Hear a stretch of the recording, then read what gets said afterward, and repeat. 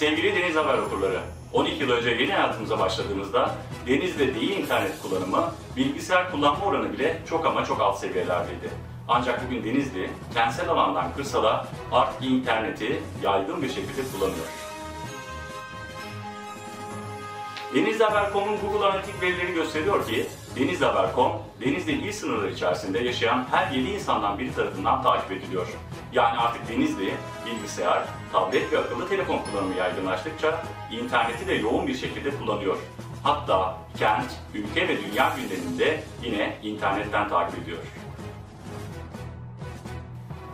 Bu gelişim bugün internet haber sitelerine olan rağbeti nasıl doğurduysa önümüzdeki yıllarda da internet televizyonculuğunu günlük alışkanlıklardan biri haline getirecek.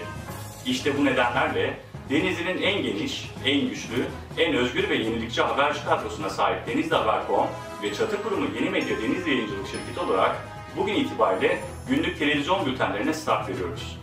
Bugünden itibaren hafta içi her gün saat 16'da günün önemli gelişmelerini aktaracağımız bu bülteni yayınlamaya başlıyoruz. Bunu yayınlamaktaki amacımız aslında ileride 24 saat yayın yapacağımız bir internet televizyonun başlangıcını gerçekleştirmek.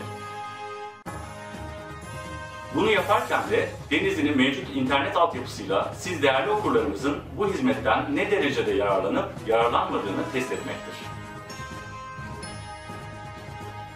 Günün içinden adını verdiğimiz bu günlük bültende günün önemli gelişmelerini sizlere aktaracak, aslında bir anlamda Deniz Haber.com'un o günkü içeriği hakkında sizleri bilgilendirmiş olacağız.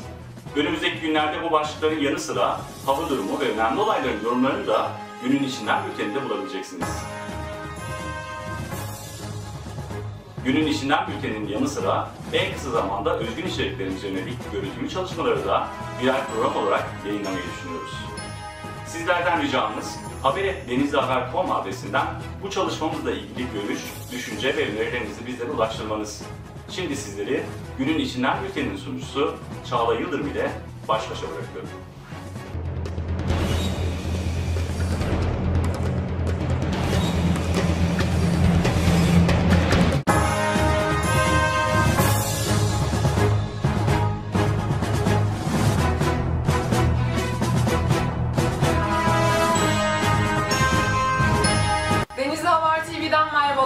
Çağla Yıldırım. 23 Eylül 2014 bülteniyle karşınızdayız.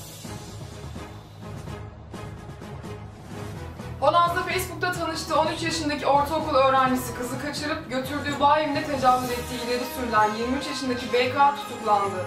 Yapılan muayenede AE'nin tecavüze uğradığı tespit edildi. Tecavüz zanlısının Gaziantep'ten geldiği öğrenildi.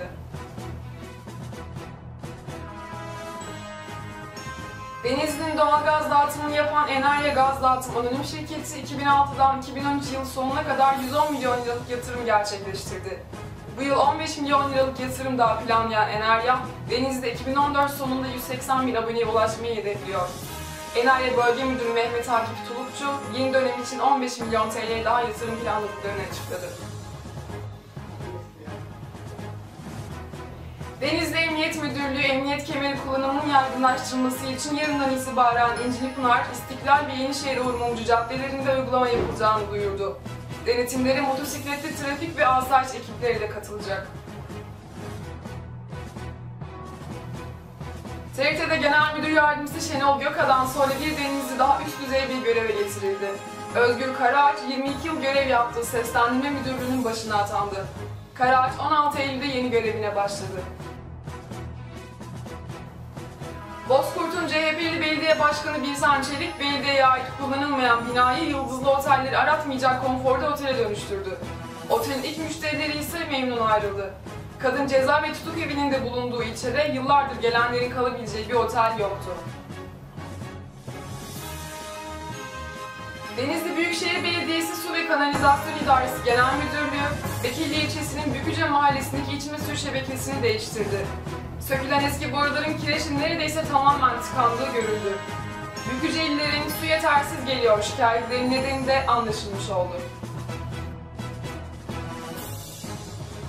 Forum Çamlık Türkiye genelinde bu yıl beşincisi düzenlenen Forum Fashion Week etkinliklerine ev sahipliği yapıyor. Forum Fashion Week ünlülerin katıldığı çok özel sohbetleri ve indirimle dolu alışveriş gezisine sahne olacak. Ünlü modacı Neslihan Yargıcı ve manken Çağla Şikel'in de aralarında bulunduğu birçok ünlü isim Denizli'de olacak. 16'da kırmızı ışıkta geçtiği belirtilen yolcu minibüsüyle kamyonun kavşakta çarpıştığı kazada 15 kişi yaralandı. Kaza anı Mobese kamerası tarafından kaydedildi. Sağlık durumu iyi olan yaralılardan çoğu tedavilerin ardından taburcu edildi. Şimdi hava durumu. Denizli merkezde hava çok bulutlu. Babadağ, Bekilli, Çal, Çardak, Baklan ve Honaz'da ise akşam saatlerinde yağmur bekleniyor. İl genelinde sıcaklık en düşük 7, en yüksek 34 derece. Önümüzdeki iki gün boyunca Denizli genelinde hava parçalı bulutlu olacak. Sıcaklık 4 ila 5 derece düşecek. Çarşamba ve Perşembe günleri bazı ilçelerde sıcaklık gece 7, gündüz ise 24 dereceye kadar düşecek. Önümüzdeki 5 günlük hava durumu ve bu haberlerin tüm ayrıntılarını denizlihaber.com'dan takip edebilirsiniz. Gün önemli gelişmeleriyle birlikte olduk. Yarın yine aynı saatte görüşmek dileğiyle.